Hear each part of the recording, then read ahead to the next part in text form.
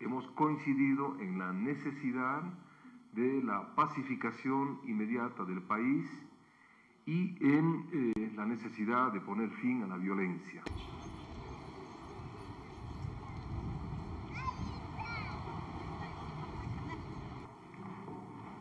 Buenos días. Paparazzos internacionales,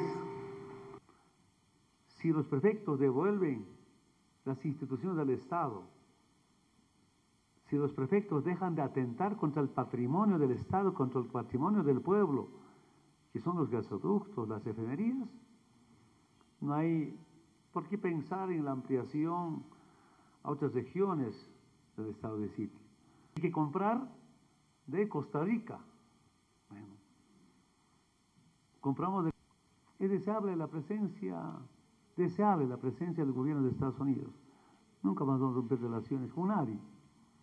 Aunque puedan romper, tienen derecho a romper también, pero lo que hacía el embajador de Estados Unidos es muy grave. Por ejemplo, a un prefecto que me trata de animal, de mono, de macaco, de incapaz, de excelentísimo asesino, va a visitar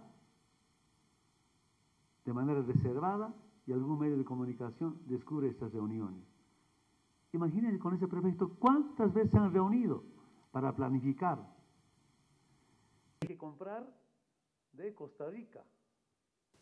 Lo que pasó en Cobija, con metralletas, sicarios, narcotraficantes, brasileños, peruanos, operando bajo el mando del prefecto del departamento de Pando, ya es muy grave, por cierto.